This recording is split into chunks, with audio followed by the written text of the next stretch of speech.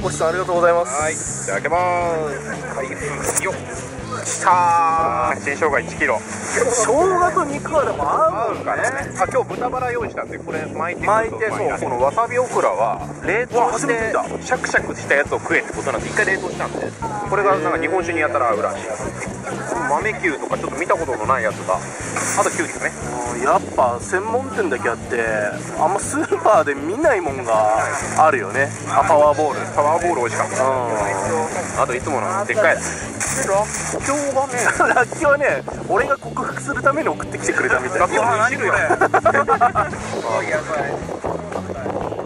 あーこれはでもオードブルにしての正解だったね。で朝川用らっきょうだいいわ混ぜちゃって。俺が嫌がるよ。嫌がる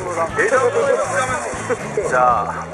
じゃあやすさん僕はらっきょうを克服しますよあこれは食えるわ全然。うん。わさ漬けみたいなうまいうまい今日いるわらっきょうやばいこれうまいわ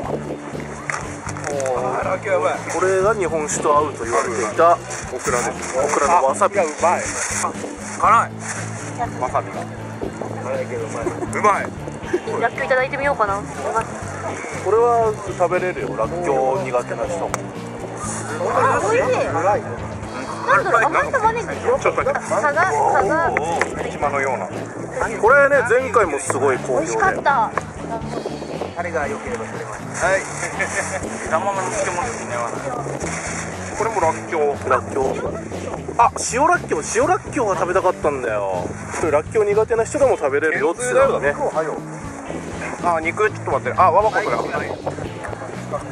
きょううまい。ワイルドに行ったね。ワイルドだろう。うわうまそうだな。